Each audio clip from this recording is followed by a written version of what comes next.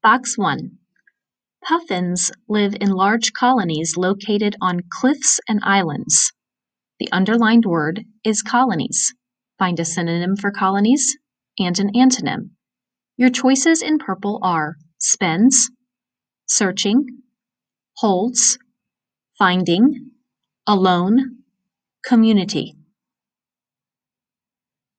Second box. Most of the beluga whale's body is blubber, which keeps them warm and stores energy. The underlined word is stores.